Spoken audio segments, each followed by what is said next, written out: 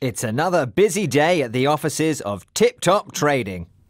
And I said, No, John, not at my age. I'd rather take the bus. Yeah, Pete, that's great. Yeah, so we'll deliver 2,000 bananas by Friday.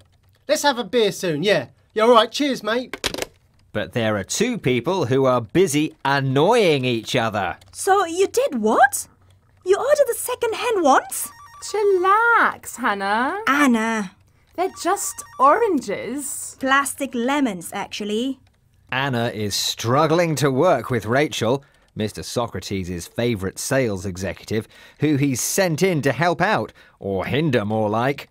Look, I'm off for a cappuccino.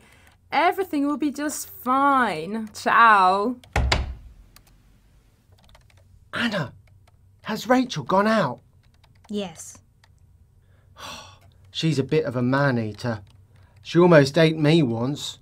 She eats men? Ah, well, not exactly. I worked with her in my last job. She was always listening in to other people's conversations, and she's always changing jobs. That's why they call her Rachel Rabbit. You know, big ears, always jumping from one job to another. Rachel Rabbit? That's funny. So she isn't that good then? Useless. She only worked for Mr. Socrates because her father threatened to sue the company after one of our plastic pineapples fell off a shelf and broke his toe. But, uh, better keep that under your hat. My hat? I mean, keep it secret. Oh, right. I see. Well, now she's ordered loads of second-hand oranges to send to our new customer in France. But they wanted uh, imperial lemons. I know. I'm not sure what to do. So I'm going to have to speak to Paul about this. Yes, it's a good idea to refer up sometimes. Ask the boss for advice. Say to him, I'm concerned that Rachel has made a mistake that might affect the business.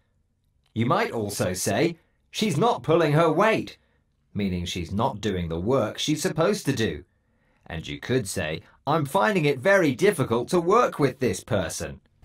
Right. I'll try. There's Paul now. Paul, could I have a word, please? Of course, Anna. Let's go in my office. Now, how can I help? Uh, well, it's Rachel. Yes, amazing woman. Mr. Socrates' favourite. I know, but I'm finding it difficult to work with her. Oh, why's that? I'm a bit concerned that she's made a mistake and it might affect our business. Golly gosh, really? Why's that? Well, she's ordered second-hand oranges for our new client in France. That's marvellous, isn't it?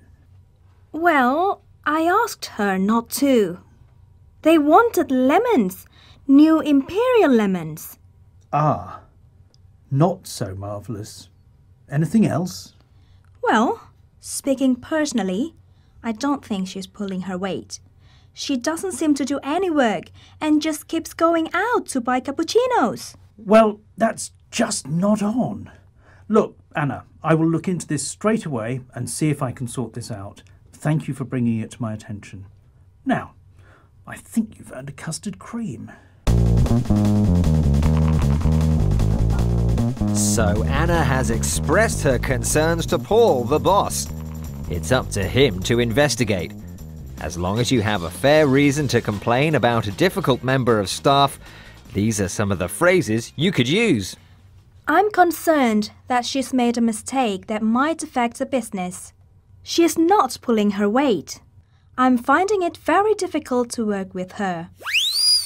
I wonder how Paul is going to handle the situation. Ah, there you are, Rachel. Nice cappuccino? Um, could could you step into my office for a moment? I'd like a uh, word. Yeah, sure. Ooh, I wonder what that's all about. Do you know, Anna? Mm, no idea. She's probably going to get a promotion and a pay rise and a custard cream. Thanks, Paul. Ciao. What a great guy he is. Such a great sense of humour. Looks like we're doing some good work, Anna. What? Oh, Anna. I'm not sure Paul has really sorted out your concerns. But don't worry, we're here to help you out. See you next time on English at Work. Bye!